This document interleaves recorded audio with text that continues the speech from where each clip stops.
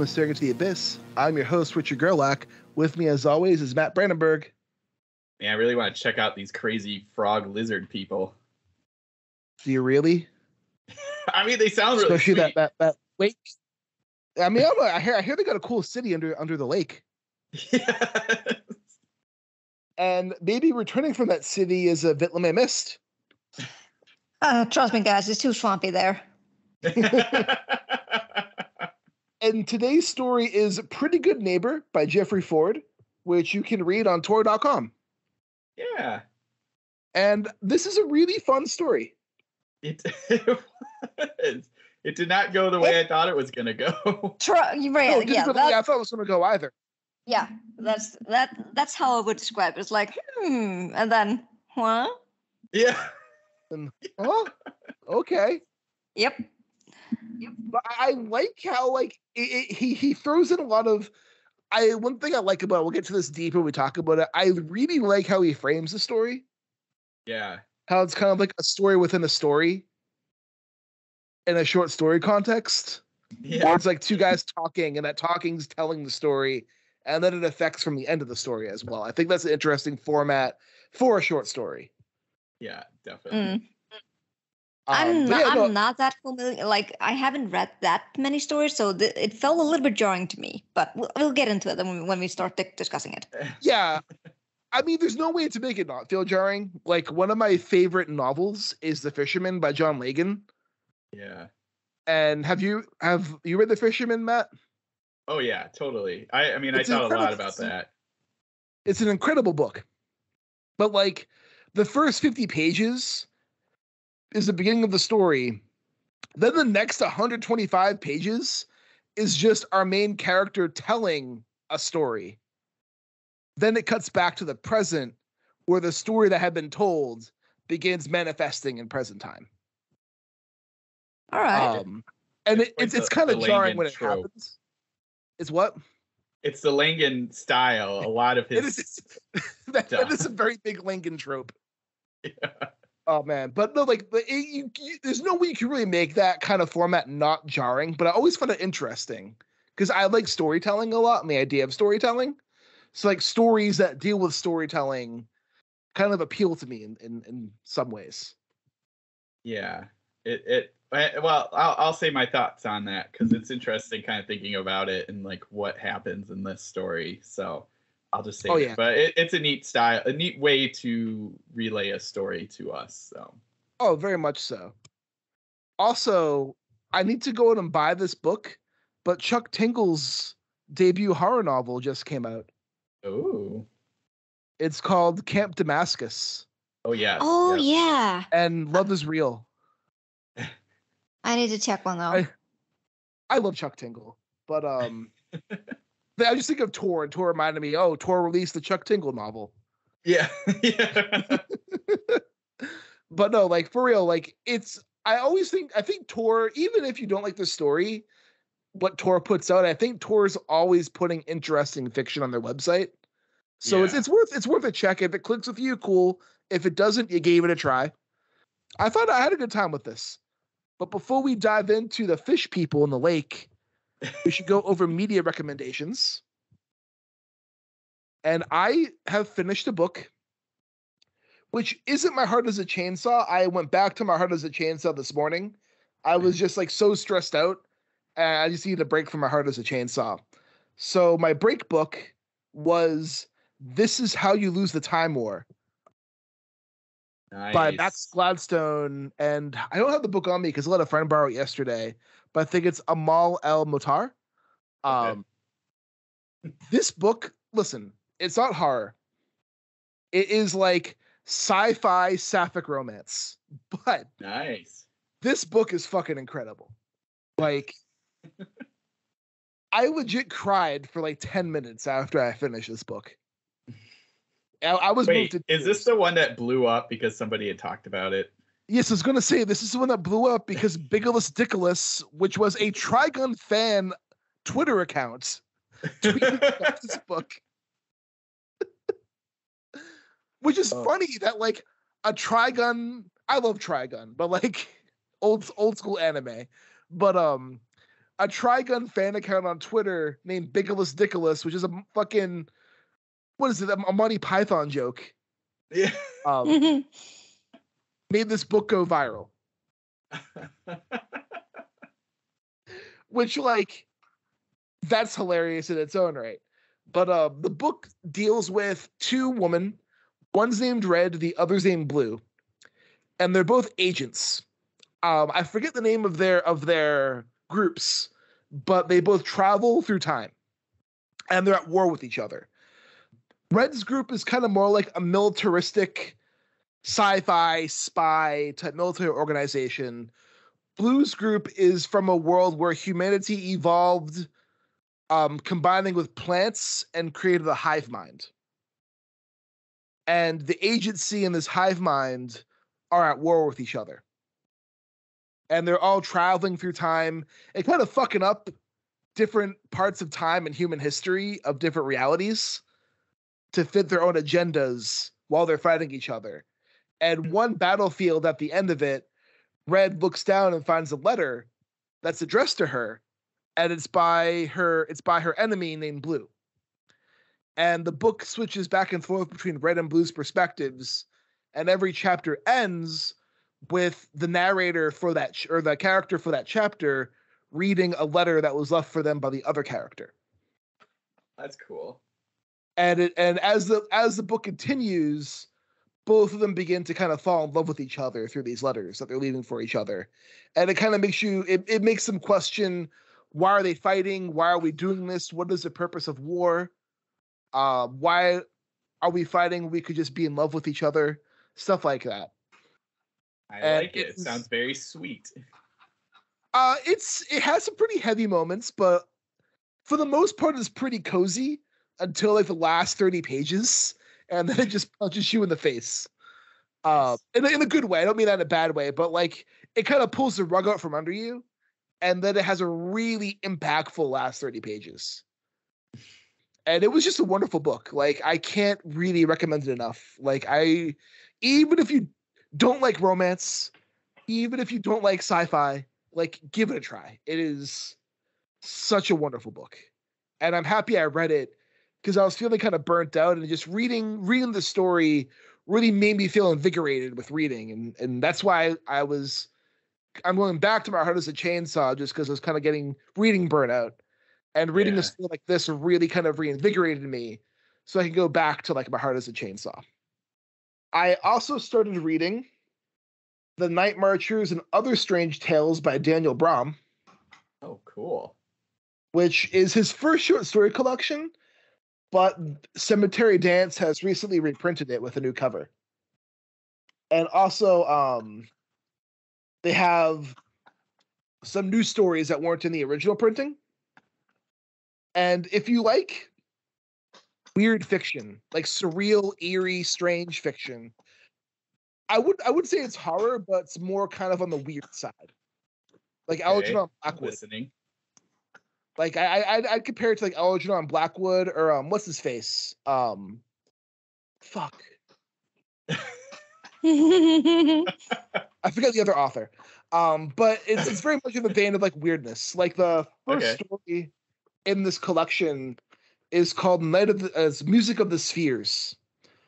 And it follows these two these two guys who are trying to start a band. And they kind of suck and they stumble upon this pla- this place where everybody is in harmony. And they're all playing the song. And everyone's joining in and adding a new part to the song that they're all playing together. And how it could possibly relate to creation but also the destruction of everything.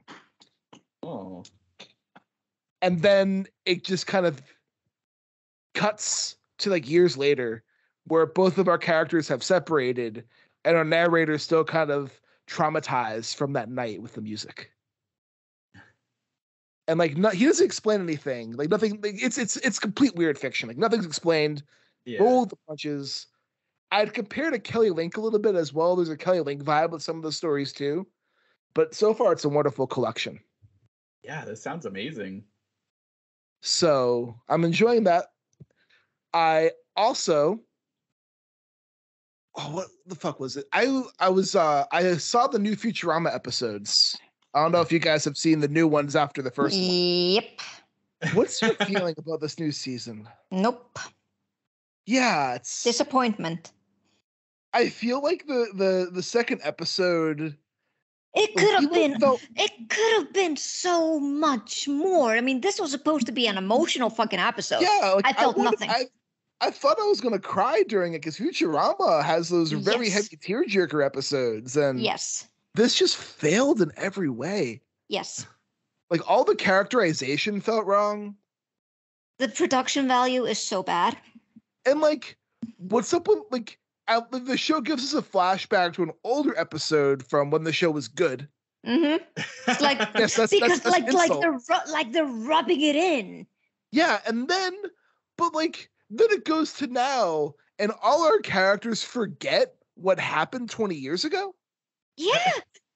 And just and also, what's the fucking deal with showing everyone's profile now?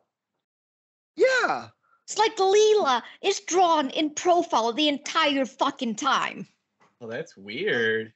It's so fucking weird. And like, and even in that episode 20 years ago, we we knew back then that the children had Leela's DNA. Yeah. And then Leela forgets that they have her DNA, and she's just like, "Oh, I was probably drunk. I'm drunk now." And I'm like, Yes. that is not Leela's character." Exactly. That's what I said. I was like, that's not Leela. What the fuck? Leela is the voice of reason. Leela is the the, the responsible one. Yeah. Like the I haven't seen the third episode yet, but these first two episodes, Major I- disappointment. I'm probably gonna watch it because I love Futurama a lot.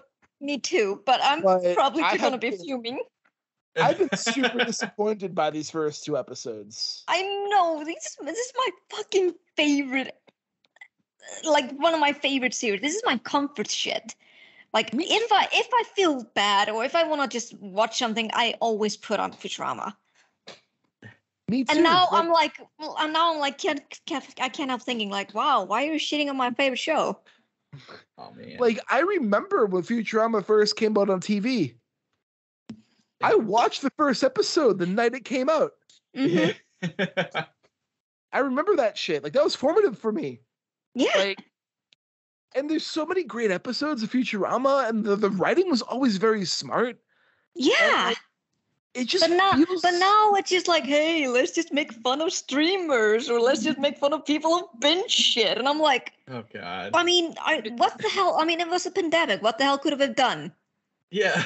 And this is and this is people comfort. Why are you making pe- fun of make people's comfort here? yeah, like, Like it, it why? doesn't, Like why are you demonizing it? Like what the fuck? it, it doesn't feel like Futurama. no, it doesn't. And it just makes me sad because Futurama was such a good show. Yeah. And they could have done it with any other show, but they had to do it with Futurama. Mm-hmm. That's what I said. Stop milking the thing which is already dry. And like and plus Futurama had a fantastic finale. Twice. They had two know. Yeah. fantastic finales. I know. Like they brought it back and they gave it a second fantastic finale. Like let it let it die. We we had a good show. Let it let it sleep. Yeah. It did its job. And I'm happy it did its job. Yeah. and now it's, it's time for it's ba- Futurama to sleep. it's basically getting the supernatural makeover. Yeah. Which uh Yeah. not they- a fan of that. no, it's not. It's like supernatural should have ended at episode no, at season five, because it was a fantastic season, and it was a Yes. and it was a fantastic finale. I mean, it was a bittersweet thing because, of course, it's supposed to be a bittersweet thing. But no, the fandom wanted more, and I'm like, "Fuck you, fandom! Yeah, fuck They can, they can, they can be so fucking toxic." Um, Just like executive, like people who are making this show, just listen to your gut. And if this, if you feel this should end, it should end. yeah, like let, let, let sometimes just let things die. Yeah, it's okay. Like we still have those memories. exactly. But you know what though? At least Enchanted is or Disenchanted is good. Yes. Thank So God for that. But but but we know we, we, we know why it's good. It's because Ma- uh, like Matt is Matt Groening is working on it himself. yeah. We know we we should sure, sure as hell know that he's not working on this Futurama. I mean, he, yeah. honestly, he left Futurama pretty early. Yeah. Like, Futurama was mostly David X. Cohen, who I guess is still involved in this new season, but the writing staff is awful. Yeah. Um, but now Matt Groening, he's definitely f- more focused on Disenchanted. I'm happy Matt Groening's still doing stuff because Oh yeah, like yeah. he he has fuck you money. yeah. yeah, yes, he does. Like the the Simpsons have given him fuck you money. hmm Um, so I'm happy like he's still doing what he wants to do and following his passions because yeah, he's a very he's a very good animator and he's a very good illustrator. yeah. and, like, I I love his insights a lot too. yeah, I agree. And I just think like yeah, I don't know like where these writers are coming from. They're just not good. It's like in the when they gave Futurama like a second chance, they they were they mentioned like they made fun of like, hey, this is a Comedy Central thing, and I'm like, oh, that's good because Comedy Central writers are pretty fucking good. So I have Yeah, high yeah. hopes. But no, I don't think they got Comedy Central writers now. But besides that, the only other thing really this week is so I've been watching the anime Zom 100. I think I talked about it on on here before. Mm-hmm. Well, guess what came out yesterday? Oh, buddy. The live action Zom 100 movie Oh my god. Figures, So- yeah. because they're both based on the same manga. Which I found out is this by the same guy who did Alice in Borderlands. For real? Yeah. Oh, After now, now- after he now I have to man- watch it. Yeah, after the mangaka who finished Alice in Borderlands, he started Zom 100. God damn it, I have to watch it now. Alice in Borderland was so good. Yeah, it was awesome. Um, I'm only halfway done the live action movie. It's not as humorous as the manga is. The manga kind of leads into the comedy a lot. But um so far it's pretty faithful to the original story. Okay, cool. And like the acting's pretty solid. Like it's it's a decent it's a decent zombie movie so far. They still have the whole like he's happy he no longer has to go to work because he was working for an exploitive company. And um he makes a bucket list of 100 things he wants to accomplish before he becomes a zombie. And it just kind of follows him as he's accomplishing his bucket list, the people he meets along the way. Um, I'm about like an hour into the movie, and it's it's pretty good so far. The the anime though, I will say this: the anime is fantastic. All right. It's easily the best anime this season. Um, and I recommend to anybody, even if you don't like anime, it's it's worth it's worth watching. It's not your typical anime kind of anime, but um, it's still very much like he makes a bucket list of 100 things he wants to accomplish before he becomes a zombie. But what's cool about the anime is like in the first episode, it's all the first half of it is in dull colors. It's all very muted, it's all very dull, and it's meant to look like our main character is kind of like a zombie, but it kind of fits this like dull exploitive work thing. And then when the zombie apocalypse happens, the anime bursts into color because he's finally alive now. And what's cool about the anime is instead of all like the blood, the blood's all rainbow colors. oh, that's awesome. So like all the blood and like insides and stuff, it's all colored with different like yellow, pink, purple, red. It's all different rainbow colors and stuff to kind of illustrate everything. Um, and it's the anime is really, really good. If you have Netflix, no, I'm not sure if it's on Netflix. It's on Hulu and it's on Crunchyroll. It's on Netflix. It's on Netflix. On Netflix has both the anime and the live action. Uh well, yeah, I think so. At least I, I, I, I saw the anime only on Netflix like I think a couple of days ago. So maybe the live action might have arrived now. I don't know. Yeah, I mean the live action is on net, on that Netflix now because I know it's on Crunchyroll. I know it's on Hulu, so it might be on Netflix too. Yeah. But um, I would I would recommend either. They're but they're both really good options, and they're not your kind of typical zombie story. Like they do have your kind of typical zombie story elements. I think my favorite is in the first episode of the anime, and this is in the movie as well. They do a bit different in the movie. His boss, so he has a crush on the secretary in his office, but she's having sex with his boss because you know it's the Japanese boss who's exploiting all his employees because he has all the power. So like he's pretty much leveraging her to have sex with her. And um the first thing our protagonist does when the zombie apocalypse happens is go to her apartment to save her because he has a crush on her. And he gets there and she's a zombie and his boss is also a zombie. And he gives his boss a quitting speech about leaving his job when his boss is a zombie. That's amazing. It's it's there's a good playful sense of humor about it, but it does also take things seriously. There's one part where there's a couple this is in both the anime and the movie there's a married couple who's like watching everything in horror and then our character comes climbing down the fucking pipe on the side of their apartment and he's like i'm going to the convenience store do you guys want anything and they're just like what the fuck are you doing and then he goes to the convenience store and he gets them what they want but when he gets back to their apartment they're both dead Okay. but he's like, but the whole the whole idea is like he's taking things not as serious as like you kind of should in the zombie apocalypse. But to him, his life has just been so dull that he's finally able to live his full life. And plus, if you know anything about Japan, you know how much how awful their work culture is. But uh, Matt, what about you? Yes. Well, all right. Uh, this week I read and finished uh, the newest issue of Vastarien, so volume yeah. six. It's so good. I think this. Don't officially quote me on this. I would have to look back, but I think this is the first issue where they have Paula D. Ashe also as one of the co-editors. So that's super cool. Uh, um, Paula But- Ashe is so fucking. yeah so it it, it anyway i've i talk about this every time it comes out i just love it there's so many good stories in here and this one doesn't have as many uh, nonfiction or as many poems as some of the other ones past issues have which you know you can give or take i always like reading some of the poems and uh, the nonfiction stuff's always great that i i always appreciate what people I love, Um, I love the nonfiction stuff in Vastarien. The poetry is also always very interesting.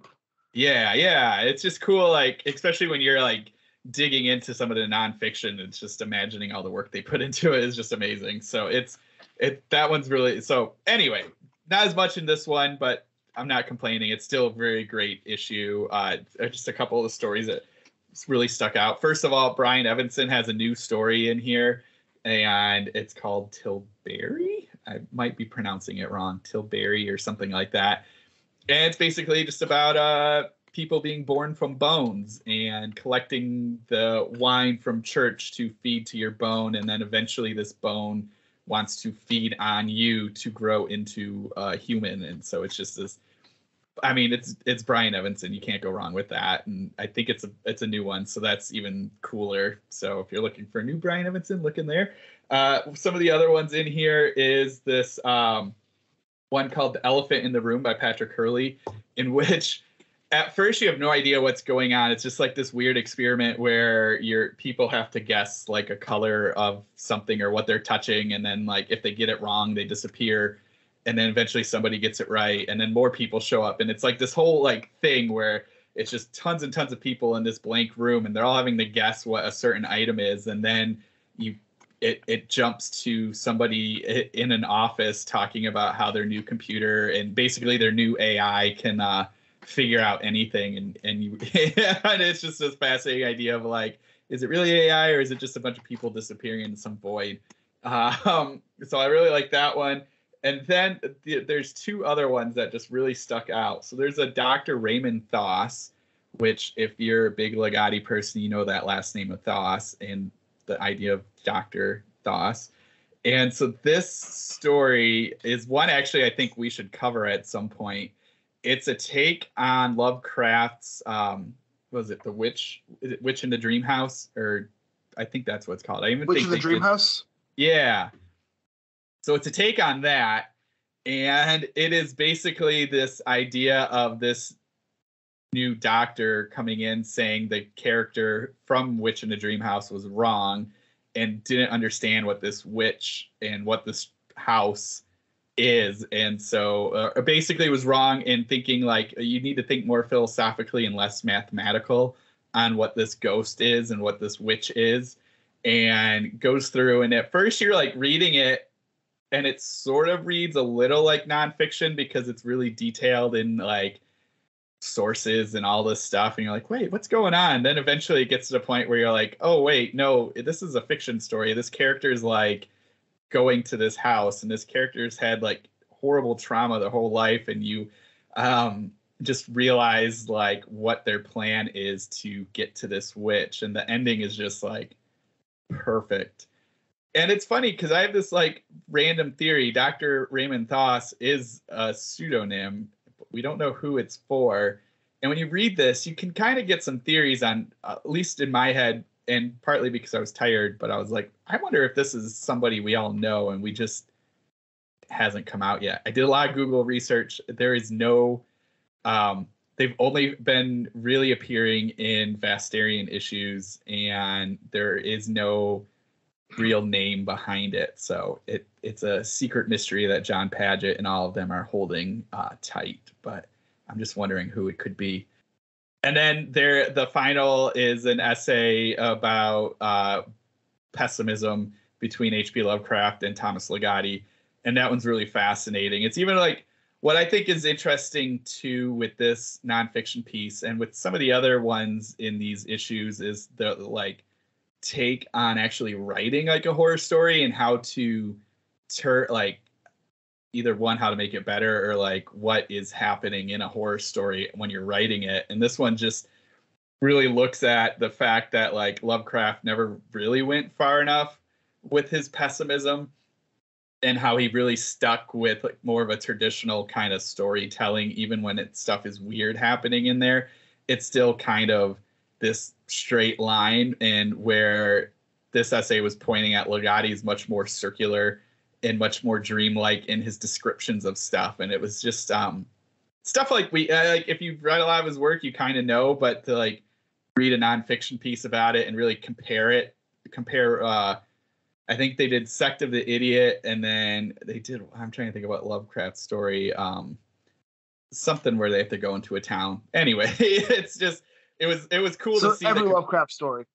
Right, pretty much it was just a fascinating comparison of the two and just looking at weird fiction and pessimism and hiding pessimism in your story and how you can kind of like take that and put it out a little bit more. So anyway, great issue Vastarien. I highly recommend it. I always do and I always will. If you can get a subscription, either print or digital, you should do it. A lot of great work It's in here. good- it's it's an amazing literary journal. It is. I, Yeah. I love Vastarien. It's just They're one of my white just- whales. I really want to get published in them one day. That would be really cool. Yeah, it's it's awesome. Also, like it's sort of tangentially, there's a, a, a Christa Carmen story in which we had her on a couple weeks ago talking about their uh, their anthology and reading this story. It, you can kind of see she is also doing a house that you can't leave from, and what the haunting is in there is a little bit more. And I was it it was just really funny to read it after talking to them and talking to her. So anyway, I read that, and the other thing is I saw the new Teenage Mutant Ninja Turtles Mutant Mayhem movie. How was it? which Yeah. It is so good. Yeah. oh, Um, thank God. yeah. I need to see it so bad. It's uh, there's so much I can say. Uh, let's see. First is uh, the animation style, like, is just amazing. Somebody I saw earlier describe it as it almost looks like claymation. Um, just the way Is- they styled all the characters. Oh, But isn't it isn't it more like you know into the Spider Verse? Yes, which that's where I was going with is like I like personally I almost think this is just a little bit better than that just because of this partly because it's all dark. I really liked all this like the dark grittiness of it all and Mm. just they added a lot of a lot of fun flourishes to everything and just the animation is great and like I read something yesterday where they the animators were thinking of like what teens how teens would draw and and and all this stuff so they kind of did that style but then whenever there's actually like fighting action it's all really smooth that just makes it look good and shows how fast they are Um, so For anyway, I, I I will say for the anime nerds, the actor who voiced Donatello is a big JoJo's Bizarre Adventure fan. So he's wearing Aw. a JoJo's Bizarre Adventure hoodie in the uh in the movie. Aw. uh, so yeah, so animation top notch, absolutely amazing. I it, I it's definitely on level with into or across Spider Verse or into the Spider Verse. Personally, just I like it. a- Spider Verse was amazing. Yeah, like, I I- think it, Mhm. Oh, I love that Yeah. movie. yeah, it, it I I love that movie too. Um, so let's see that uh turtles uh what they they focus more on and, and like is not a complaint is but just to, for people to know is they definitely focus more on the teenage aspect of them hence why it's all teenagers doing the voices and Yeah, I feel, I feel like that makes sense. Yeah. No, like I, I I expected that honestly. Mm-hmm. yeah It- I mean- it- and i i liked it I mean, it's a different, like, it's a different take on the turtles, which I, I mean, I love all the different variations of them. Personally, my Yeah. favorite is, of course, the original from 1987 because I grew up with it. But, but I still love all the different kinds of variations that we've had with them. I just, I love it. Yeah Have you ever Yeah. read the original comic of it, LeMay? I, I have, yes. They're I so love it. fucking bleak. It's Yeah. so dark, and they turned into like the happiest, like funnest cartoon. I know. I, I I mean it's it's the it's the same with the mask. The mask comic is fucking Oh, dark. Oh, the mask is fucking brutal. That's like a horror comic. It is like Yeah, he's like a fucking serial killer. Jim Carrey slapstick comedy movie. I know. So Yeah. I, I I appreciate the changes they made for that because I I mean I think kids nowadays they are ready to read the original comics now, but at that time probably not. I will say, I think The Last Ronin is one of the best Teenage Mutant Ninja Turtle comics ever made. Oh yeah I- no, it's- They're doing they're amazing. do they're doing another one. yeah They are. It's gonna be. It's gonna be the new Turtles. Yes, and I'm so excited. I'm so excited to see how these new Turtles turn out. Ah, I love it. I mean, Yeah, I'm I- always gonna be a Turtles fan, so yeah. yeah it's yeah so it it's they do amazing job they they do great in there there's a lot of uh homages to earlier s- turtle stuff and even like just different styles. There's like a there's a a side i don't know i call like a side scrolling scene that's like almost not quite but straight out of Oldboy.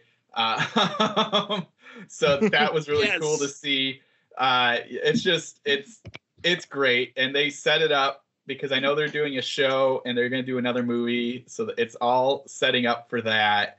Um you know it's a tight movie. It's like an hour and 39 minutes and you're Oh you don't yeah so it's it's just it's a blast i absolutely loved it um the music is great i mean it's trent reznor and atticus ross you can't really complain about that Yeah. Yeah. so yeah highly highly recommend going to see it everyone you'll love it it's super good um and yeah that that's it for me this week Vit LeMay, what about you? I mean, this week has been hectic, and I haven't really had that much. Like, the only time that I've been like dealing from like as a me time for me is just going to the gym, and that's basically like one or two hours. But yes. I honestly, I've been going. I'm doing lots of hikes for me time, and hiking has been so wonderful.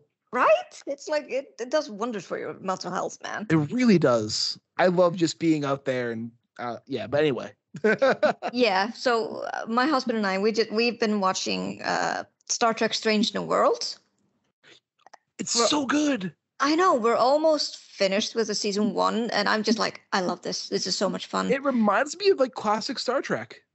Yeah, it does. And I am in love with the guy who plays Spock. He plays it amazing. So good. I love. I love New Worlds. It is. It is so good. It's really good. And it's and it's I find it also so funny that the actor, like who plays um Pike, he I mean, for anyone who didn't know who like how um, William Shatner looked like when he was playing Kirk, they look exactly the same almost. Yeah. Yeah, they do. It's it's um like it's uncanny how similar they look. It's Actually- almost that it's almost that William Shatner and Timothy Olyphant had a baby, and Pike is the love child. so yeah, we're we're gonna we're, we're aiming to finish that season, and we're like getting season two as well. Yeah. And Season uh, two has a musical episode. okay, I'm excited. um, so yeah, I did finish also um, Boys in the Valley by Philip Fracassi. I haven't started that one yet. How how was it? I know you were disappointed that it was like I'm st- demon I mean, possession. It was I it mean, I- vampire? it was vampire demon possession. No, well, the thing is, I was like so sidetracked by that. Like, I for some reason thought that it, that it was about like some kind of vampirism because uh, how it was described in the blurb, it said like the sickness, the sickness starts to spread within the orphanage, and I'm like, okay, sounds like a strain or something. Mm, interesting. So I was like hyped about that, but then I should have gone a little bit like up and up on the blurb when they doing the the comp titles, and they said like Lord of the Flies meets The Exorcist, Exorcist, and I'm like, ah, that's not vampires at all. But- and But but as I you like it despite your miss? You expected one thing, you got a different thing. the thing is, as I like when I discovered that, that it, like with these kind of comp titles, I was still dis- disappointed because these comp titles did not match at all. It's like they're like using Lord of the Flies because Lord of the Flies is one of my favorite stories. I love It's a that great story book. to bits. It is yeah, a great book. so good. But wh- why would you use that title and like base the, the basic theme of the story when there are adults in the story as well? Yeah. That doesn't I make mean- sense because in the in Lord of, in the Lord of the Flies, they are kids that are fending th- for themselves. Yeah. Yeah. But in this story, they're not. There are priests and adults that are helping them, Yeah. Okay. I see what you mean. right? And also, The Exorcist, not also a great describer. like, yes, it has a, like a demon possession story, but nothing like the the Exorcist at all. It's like we like you like I said, you can also you can almost just look at it from the from the point of view that is maybe that it might not be a demon possession story because like as one of the characters said, like they're just kids who look like who are angry with what like with how they are treated and they're just getting revenge. And I'm like, yeah, I mean that could happen. Why didn't you just Yeah. make it about that? Why did you have Yeah. to roll fucking demons into this that don't that don't do anything? I like So, uh, demons. I like demons too, but like they hate demons. I'm your boy. did, they didn't do as much. Like I, I don't know. Maybe I had too high expectations for it. Well, I mean, that being said, like fucking Stephen King had this big blurb for it about how much he loved it. And like the book had so much hype that like Yeah. expectations for this book are already pretty high. And I don't mean this in a bad way, so I feel really bad saying this. And if you think it's too mean, Matt, you can edit all this out in post. Um, but I tried reading A Boy Alone with Strangers, that big novel that Philip Fracassi put out, hmm and there's a description in the first paragraph that made me stop reading oh no. because it's like this character's tied to a chair, and he's been punched in the face, and his teeth are knocked out, but it's like his teeth were like splayed down his t-shirt. And I'm just like, if he's sitting in a chair bound with his teeth knocked out, his teeth would either be fucking in his throat or they'd be on the ground. They wouldn't be all over his shirt. And I just stopped reading. Mm. yeah, there was there was a scene in the book that, uh, like, for me, felt like a plot hole that m- needed to be fixed. It's like when they like, and this might be a little bit spoiler, but I'm not. I'm not gonna say who. When the demon, like the possessed kids, kill one of the child, the one of the children, they do it in a shed outside of the orphanage, and there's Yeah. snow, and then and they had just recently snowed, and then when the others discover the body, it's uh, suddenly in the chapel inside the orphanage, Yep. hung up. Like as like like the kid had hung himself, on the Huh. cross. Huh. And like it's a visceral, it's a visceral description, and then there's and then there's a, like a shocking thing, and I'm like, yeah, but then I kept thinking, wouldn't there be evidence of them dragging the fucking corpse in outside? Yeah. Yeah. And they and like and they went there, like the other characters went to the shed. And I'm like, look at the fucking ground. And Hmm. nothing was addressed to that. I'm like, "Mm, I would have said something. I would have said something too. So yeah, like I mean, Fracassi's writing is good, but I yeah, I think the hype was a little bit too much, and yeah, like I got sidetracked, like and, and that's completely on me. I'm not I'm not Yeah. saying that's because like it's the book's fault or anything like that. It's just completely on me. But I expected a lot more, and I, I get didn't that. get it. Uh, and it's just like, oh, okay. I mean, because if you're uh, for me, I don't know. If for me, if you're going with like a demon possession story, you need to high, uh, like you need to turn up the volume. Like you need to crank it up. yeah. Like And in, like if you're going in to both in, in both ridiculousness and just how gory or just far out biblical sense it's gonna be. Yeah. And plus, if you're going to compare something to Lord of the Flies, like I can think of two books that I compare to Lord of the Flies. Laws of the skies, people. Yeah. Yeah, I this is just Lost in thinking the that. Skies and the Troop. hmm Yep. And the Troop has adults in it, but the Troop is also more the kids fending for themselves. Laws of the Skies are kids fending for themselves. Mhm. That's what that book is about. Yeah. It's stuck alone, trying to fend for themselves, and this idea about what civilization does to us and what happens to us if we leave civilization for too long. Yes. I love Lord of the Flies. I know. I used to teach that book a lot. it's just this is like my favorite book. It's like it left such a big impact on me. yeah, no, I totally get that. But should we um hop over to the uh, swamps of New Jersey? Yeah. So I'm should. I'm not familiar with like the layout of New Jersey, but is it really that swampy? Parts of it are. Yeah. Really? Yeah. Oh yeah. New Jersey- Matt, so, like- Matt is like, oh yeah, I've been there. Mhm. Yeah, I I, I I dated someone who lived in New Jersey. So I, Was she I- was she a swamp thing?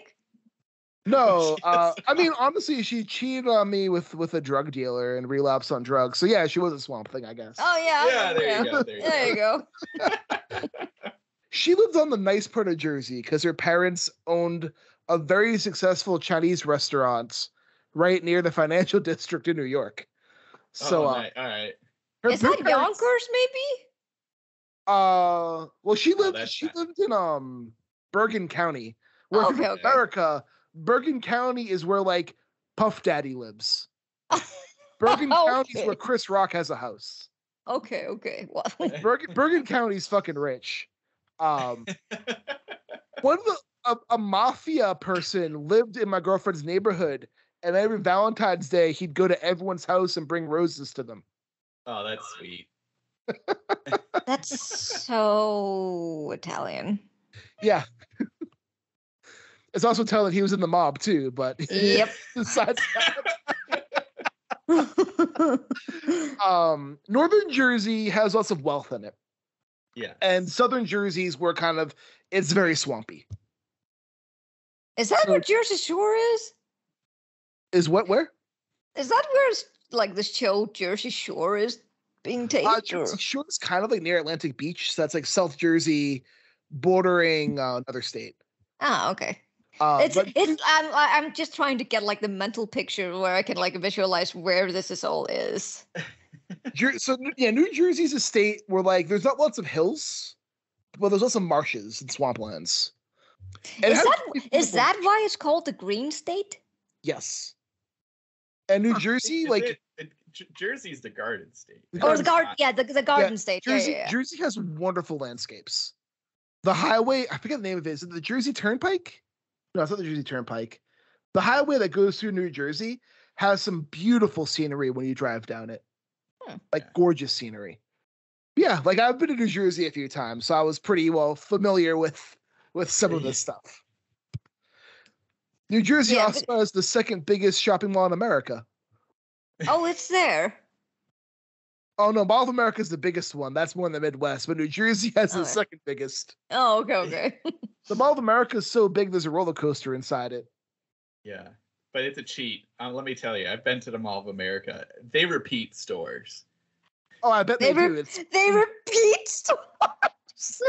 yeah, you, you you think you're going to this giant mall to like be just amazed by everything, but I, unless I was like in some weird time like loop or I was in I some maze and I was passing the same thing, but it's or like you just yeah. realized you finally walked in a circle. Yeah. Wait a minute. I've seen this before. oh my god, you might be right. I might have walked in a big circle. All these stores are the same. I just saw them. I thought the military is good at teaching directions, Matt. Yeah, but a mall, a mall has its own directions. Like, you just once you get into one of those giant buildings, like the compass just spins in a circle. Once you go in, you never come out. yes. Oh my god. But let's get back to some swampiness here. Um Yes. man, you know what's funny? So before we like get into it, and this what I'm gonna compare it to is a loose comparison. Is it reminded me a bit of the night we went to the horror show. By Joe Dude, I was gonna say the same thing. okay, good. It it, it, it had the night they missed the horror show vibes. yes it, it it it it follows that and we'll explain that in a second but just like as i was going i mean and again it's like a loose comparison but i was just like oh this feels just Yeah. like this kind of idea um but Yeah, it's it's it's not very similar, but it has the vibes of the night they missed the horror show. Which, if you haven't read it, is a wonderful short story. yeah. Okay, I need to check it Uh, out. and by wonderful, I mean absolutely traumatic and fucking terrible. But it is a really great short story. written really well and it it's just that like so anyway like uh, we'll, let's we'll get to there let's get to this thing so yeah we have what two people they're sitting in front of a house or like in their backyard and they're talking and it's um F- phil is the neighbor and our main char- or our narrator for part of this is just like hey have you ever he's a writer he's looking for an ideas and he's asking about a haunting and phil then goes into this crazy story that happened to him and his buddy or his cousin donnie um Yeah. and it it's so it just like it's and again we'll get to that writing part because i have some thoughts and Vit LeMay, you were you kind of touched on it when we first started talking. Mhm. um so anyway donnie and phil not the greatest of people. They do drugs and Kind they of decide scumbags, like uh, you could say. yeah total scumbags. And they, they decide to they need money to get a fix. So they're like ah we're gonna go bust this old lady and distract her and go steal a bunch of stuff from her house and then we can sell it and make drugs. Well donnie's crazy. This is the cousin of phil. And as soon as they open the door he socks them socks the old lady and they go in they steal stuff. They run across this guy and the guy's like what's going on? And he's described as a tub of goo. Um, so not exactly the best uh, description for this guy.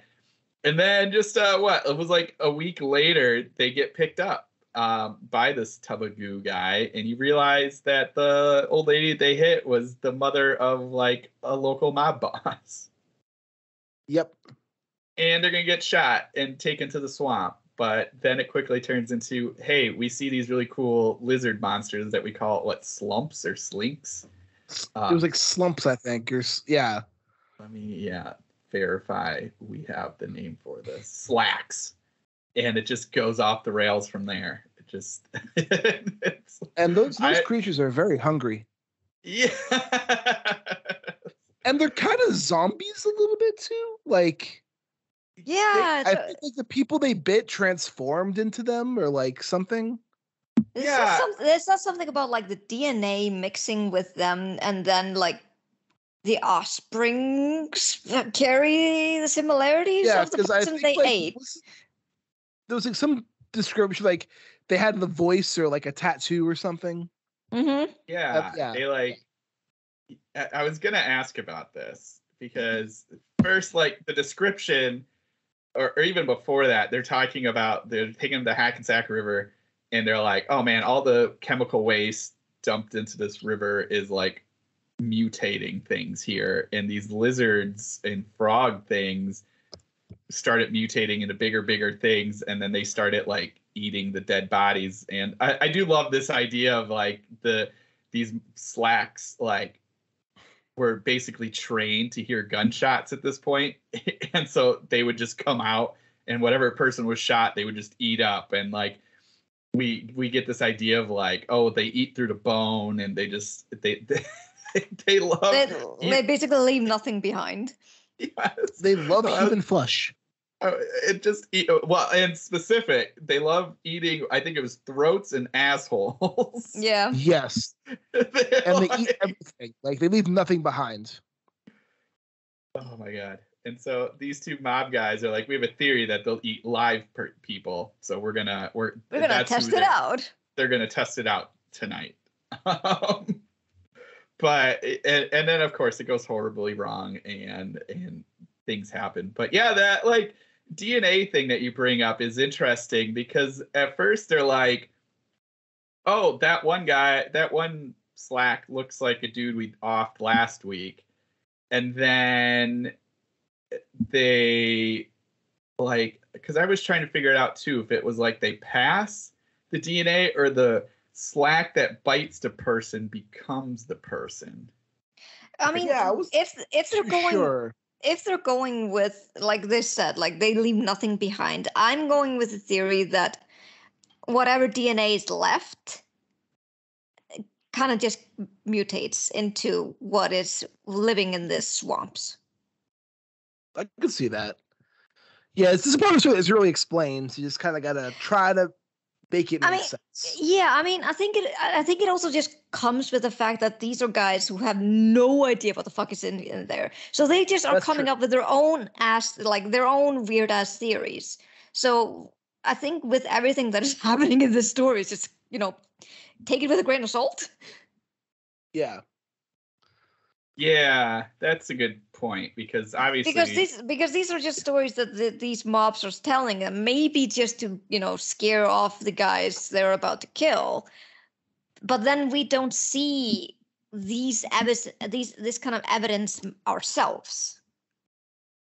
Yeah. Because because Yeah. this is a sto- because this is a story within a story so we as readers we're not giving we're not being giving the the whole thing you know we're just giving bits and pieces.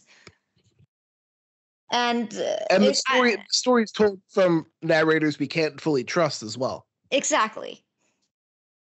Is that why it ends the way it sort of ends? Is that re- like sort of reveal of him not being very good?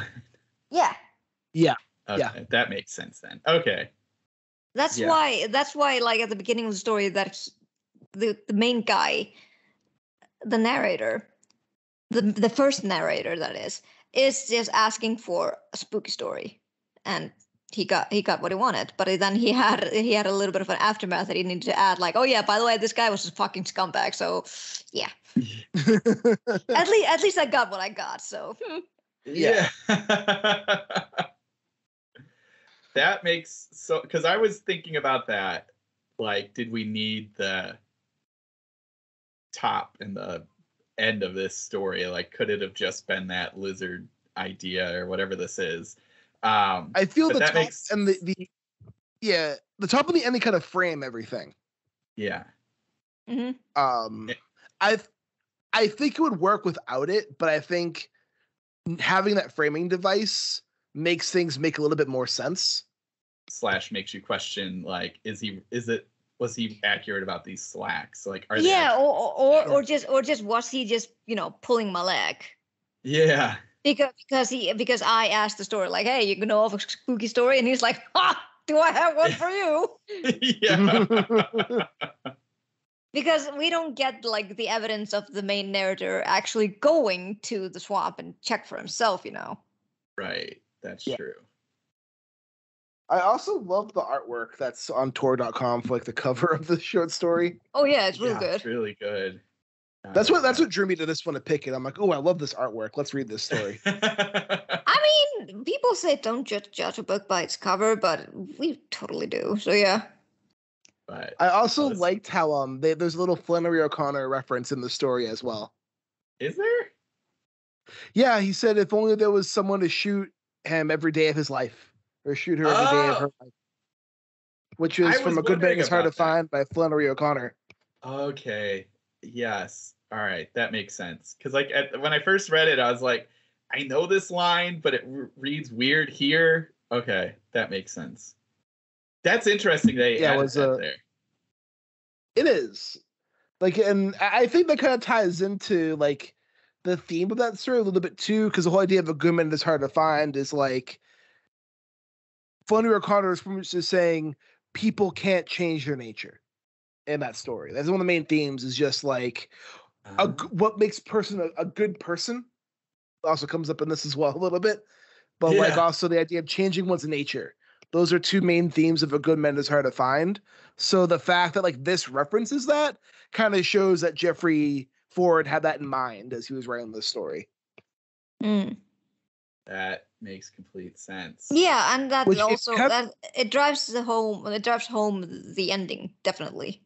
yeah Yeah. which if you haven't read a good man is hard to find Vit LeMay, i'd recommend it i think you'd like it a lot Okay. um it's about this family who is going on a vacation and at the beginning the grandmother's reading a newspaper about this man called the misfit who has escaped from jail and he's murdered people and the grandma's a bitch she's she's an awful person Mm. and she makes the family's life a living hell she demands a drive to this old plantation that she used to vacation at when she was little and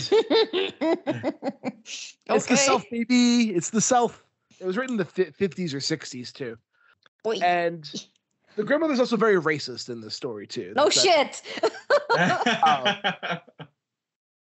And her her whole thing is a good man is some a good person is someone who looks like a good person. They have the fair skin.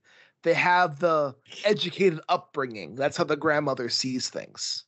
The, the, the, the, the story is painting her in a very bad light. Flannery O'Connor had her issues too, but the grandmother's not supposed to be a sympathetic character.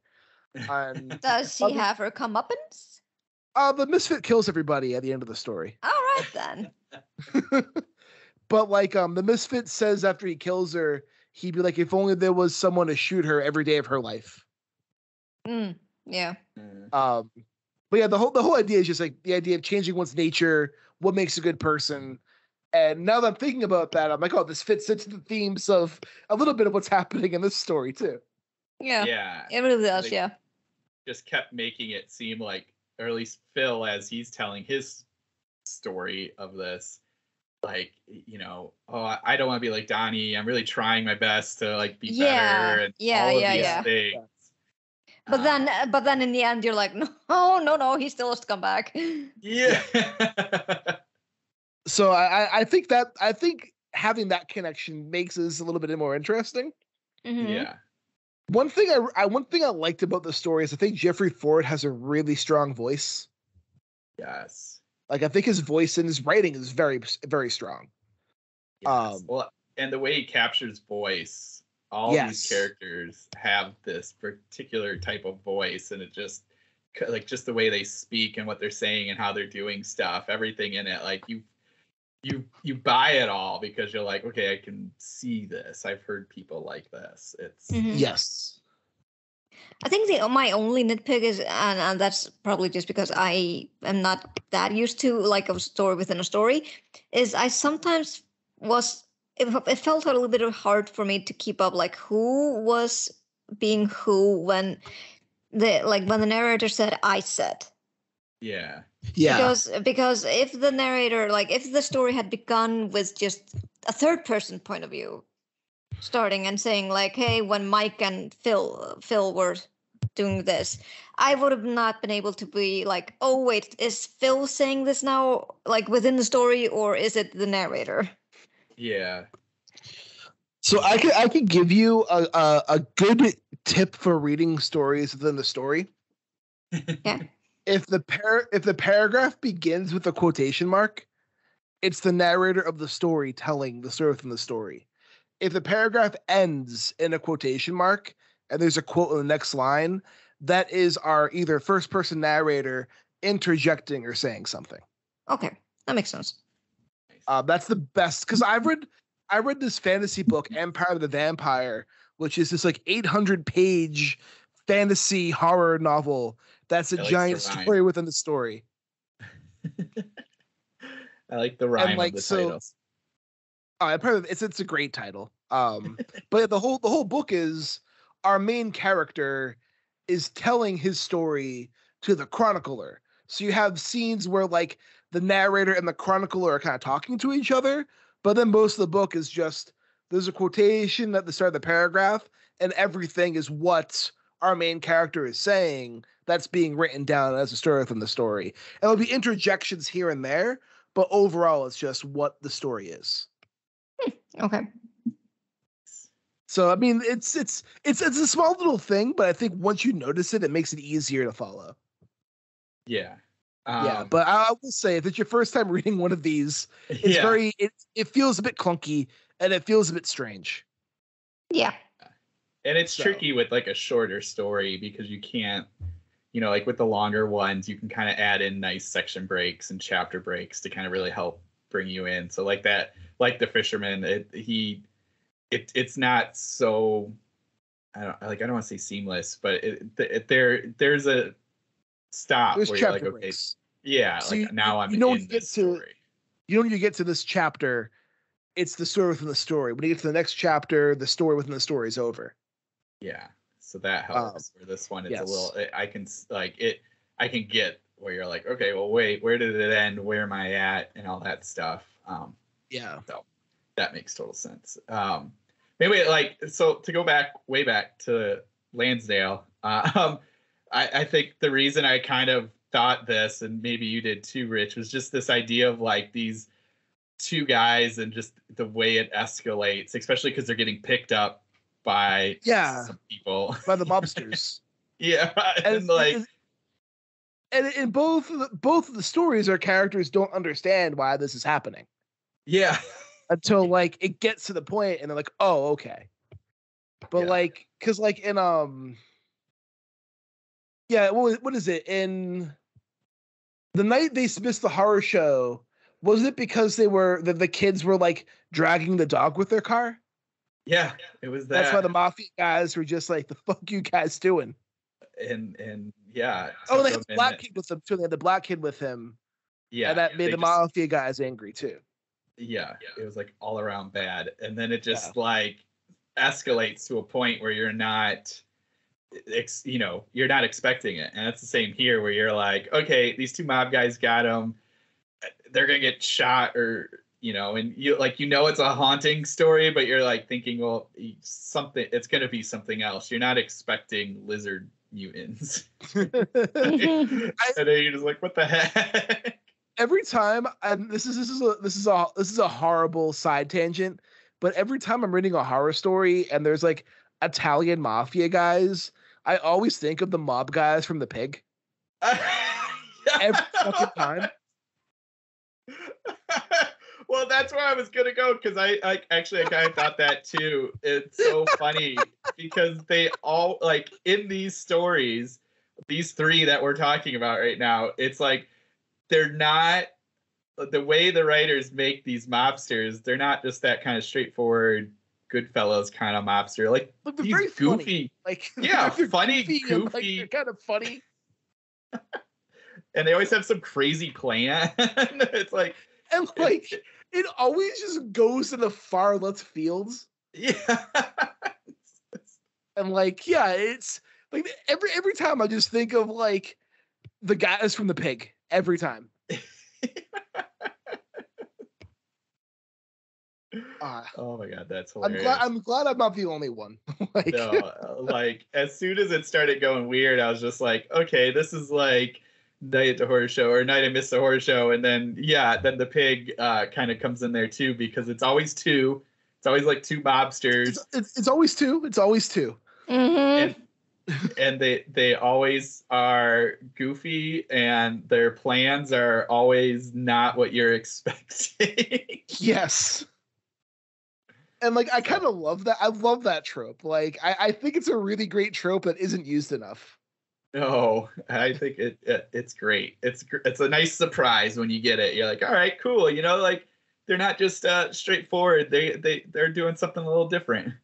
Yeah, and like I don't know, I feel like it. I don't want to say breath of fresh air because I've definitely noticed that this is a trope, but we're so used to the straightforward, mean Goodfellas type mobsters, Yeah, or like the Tony Sopranos, where like yeah, the flip on a switch. But to like have the goofy, silly mobster guys that still have the sinister edge to them, I think is Yeah. a really nice touch. yeah. I mean, like their plan is to kill these two, and their plan was to feed them to lizards, but it's the lizard part that you're like, wait, what? exactly. Or it's like the, the night they missed the horror show. It's like, yeah, they put them lock up the kids in the trunk and throw in the car into the river. yeah. But like, But first they You know, take them to funny. that weird place.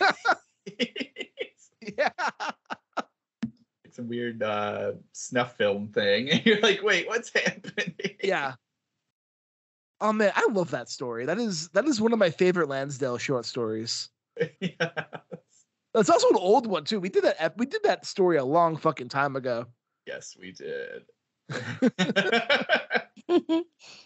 but no this was a blast this is a fun one i think people should hunt should read it like we said it's on tor.com i'll put this Yeah. i'll put a link in the show notes so you can uh take a take Yeah, a read take a free gander To, it's free to read on Tor.com. You can buy if you want it for your Kindle. You can pay a dollar on Amazon and get it on your Kindle. Although personally, I'd wait because every year Tor releases a giant Kindle collection. That's Yeah. all the Tor.com short stories they publish that year. oh, that's nice. Every and they, they sell it for like a dollar or two dollars, and it's all the Tor.com stories.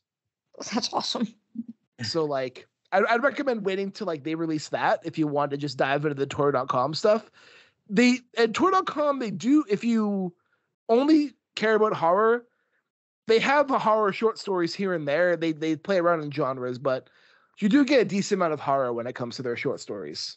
yeah Um, I I'm, I feel like no, this is something different for us a little bit. I want to give Nightmare Magazine or The Dark a little bit of a break because we use them a lot. but not to disrespect them because those are great publications. So you should check them out too. yeah. Um, Definitely. I feel like we need to spread the love around. yes But I'm glad both of you enjoyed the story. Maybe you enjoy it a bit more now after this conversation than you did on your first read. Yeah, yeah, yeah, yeah, definitely. that's that's one thing I like about doing the show is um when we sometimes we read a story and it doesn't click with us right away. But if we think about the story, we discuss the story, things kind of begin to fall into place. Yeah. And I think it can build a better appreciation for that story. hmm Um, but yeah, no, this is Tor.com. It's a great short story. Um, I'm, I'll find another one for us next week. I'll get a nice spoopy one. Get the spoops going. There you But go. um, Matt, where can listeners get in touch with you? yeah so i am still on twitter at brandenburg dm I'm, on sorry, we don't dead name on this podcast, Matt. Sorry, X. I'm on that thing. Uh, I'm also on Blue Sky, but honestly, I think it's just my name, Matt Brandenburg. I don't know how you would look me up otherwise. So, but I'm on there Yeah. too. uh, Vit LeMay, you're still in your social media hiatus. I am. I am. Yeah, but I'm like slowly like posting stuff on Blue Sky as well. I'm on Blue Sky as Vitamin Mist. Uh, I and yeah, and I'm also I'm also on the dead name at uh, at Vitamin S. So, like I said, if people want to get in touch, they can just DM me, and I'm quick to quick to answer. But still on social media breaks, still finding my mojo. So yeah. So I am on a Twitter, oh X, I'm sorry, break where I have deleted my account, which I feel is doing me a disservice as a writer because it's really good for networking and it's really good for promotion. Yeah. But I just couldn't put myself through the harassment that that site kind of Yeah. caters to towards uh marginalized groups of people. The Yeah, best way to put it. Mhm. I'll Well, I'm seeing a lot of people for- on Blue Sky, so I'm on Blue Sky. You can follow me on Blue Sky at uh, my name, Richard Rich Gerlach. yeah. So Uh, I think you'll find you'll find the community there. Yeah. and you can also follow Abyss with Add to Staring. I'll still post from the Abyss account. Um, I won't I won't stop that because that because the main reason why I deleted my Twitter is I was so ingrained with horror Twitter, ska Twitter, a um punk rock Twitter, and Jewish Twitter. And since Musk took over, Jewish Twitter, the algorithm has conflated Judaism and anti-Semitism. So a lot of Jewish Twitter users are getting lots of anti-Semitic stuff in their feed because the algorithm is conflating the two together. And I just couldn't take it anymore. It was just becoming too much for for me. So that's why I'm no longer on on on the dead name. But the if I use I use the Abyss account, that's just in the horror genres and the weird fiction genre. So I won't get any of the other bullshit. So I'll still post from Adam to Staring. You can follow me on Blue Sky with uh, just my name, Rich Rich Gerlach. And this is Richard Gerlach saying, keep staring.